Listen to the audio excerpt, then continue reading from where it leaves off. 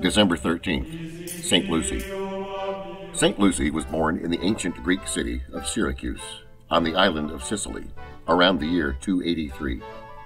Her father died when she was five years old, and she was raised in the faith by her widowed mother. At an early age, she secretly made a vow of virginity. When she and her mother visited the nearby tomb of St. Agatha, a recent martyr, her mother's prayers were answered. She was cured of a long standing disease.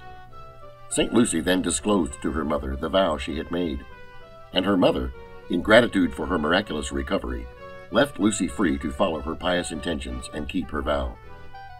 A young Roman nobleman, who had sought her in marriage, and had even been encouraged earlier by her mother, was now so outraged that he accused St. Lucy of being a Christian. She was brought before a judge, who ordered her to be exposed in a house of prostitution. Miraculously, no one was able to touch her, and one young man who tried was struck blind. Enraged, the judge had her tortured and had her eyes gouged out, and finally she was beheaded in the year 304. St. Lucy, pray for us.